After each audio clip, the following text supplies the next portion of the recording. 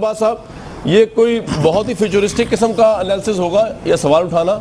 या आपको लगता है कुछ सब्सटेंस है इस पर बात हो सकती है कि ख्वाजा आसिफ साहब जो हैं, वो समझे, वो प्राइम मिनिस्टर के करीब हैं, चाहे निसार साहब, नवाज़ शरीफ साहब के शहबाज शरीफ साहब के करीब हैं। तो ये दोनों की जो आपस के तनाज़े चलते आ रहे हैं और दूसरे वजरा के भी, ये दोनों भाइयों के दरमियान भी कोई ताकत का तनाज़ा खड़ा कर सकते हैं? कुर्सी का।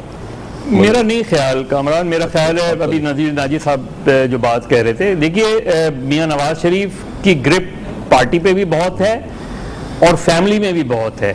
ठीक है। और मियाँ नवाज़ शरीफ अल्टीमेट जो फैसला है वो मियाँ नवाज़ शरीफ करते हैं और उसको सब मानते हैं। और बहुत सी दूसरी क्वालिटीज़ हैं जो एज़ कंपेयर टू मियाँ नवाज़ शरीफ वो शहबाज शरीफ साहब में लैक करती हैं। दूसरा ये कि शहबाज शरीफ साहब वैसे भी जो है वो जज्बाती ज़्यादा हैं और फिर बीमार भी हैं।